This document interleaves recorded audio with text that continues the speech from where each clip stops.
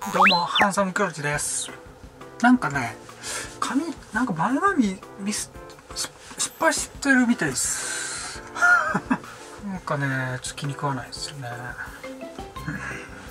まあそれはさておき今日はですねヨーグルトを食べたいと思います。森永のパルテノっていうギリシャヨーグルトを6種類買ってきました。これキウイソースのやつは1回食べたことがあるんですけどいっぱい買ってきたのでどれが一番美味しいかっていうのをね決めたいと思います。じゃあいただきます。じゃあまずねこのソースが別かけになってないこの3種類からね。よいしょ。こんな感じです、まあ、真っ白ですね。じゃあいただきます。あこれ砂糖入ってないんだ。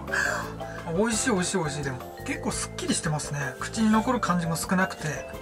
酸味もそこまで強くないけどすごいさっぱりあっさりしてます。う、癖ないですね全然。クリームチーズのような無塩バターのような。プレーンごちそうさまでした。これがベースになってこういろんなソースが入ったものが食べれるっていうわけですもんね。じゃあまあこれに点数はいいやまあ強いて言うならまあ8半3くらいですね。こちらキウイソース入りのパルテの。これ 80g ちょっと小さめなんですよねプレーンより。なんかソースがね下の方にあるみたいでパッと見はプレーンと変わらないです。ただ香りはちゃんとキウイの香りがします。じゃあいただきます。これ美味しかったんだよね。うん。若干若干ねヨーグルト自体にもキウイの味ありますよ。プレーンと比べると分かる。こちら底の方にキウイのソースが入ってます。うまっ！すっごい美味しいですこれ。キウイソースごちそうさまでした。キューハンサムです、うん、難しい。こうしよう。キューハンサムです。キウイのソースがすっごい美味しいです。僕好みの甘酸っぱいソースですね。キウイソース限定。じゃあブルーベリーソース入りいきます。ブルーベリーも間違いないですからね今までの経験上美味しくなかったことがない。だってブルーベリーだもん。こんな感じで真っ白ですが多分ブルーベリーっぽい味が多分ついてるんだと思います。じゃあいただきます。やべえな超幸せだな。あと3つもあるぞ。これ入れたら4つか。あやっぱりブルーベリーっぽい味ついてます。おお来ました。結構甘みが強め。なんかどことなくこうハイチュウ感がねごちそうさまでした。一口目くらいは、ちょっと香料多めの、甘さ多めの、ちょっとガムっぽい、ハイチュウっぽい感じかなと思ったんですけど、食べ進めるとね、全然そんなことなくて、がっつりブルーベリーの味しました。8ハンサムで あ、これ9だ。8ハンサムで。おめでとうございます。次は、ソース別かけのパルテノ3つ。ブラッドオレンジソースっていうのが期間限定みたいですね。これどうなってんだろう。あ、はまってんだ。よいしょ。真っ白ですね。これおそらく完全なるプレーンです。じゃあかけましょう。ここ大事ですからね。トロンヌもそうでした。でもトロンヌみたいにしてくれると確かに楽ではあるな。これちょっとね汚れそうだし。じゃあいきます。ダバダ。ダバダ。ダバダバダ。ダバダ。ダバダ。ダバダ。バー。すごい鮮やかですね。なんかちょっと水っぽい気がするけどな他のやつより。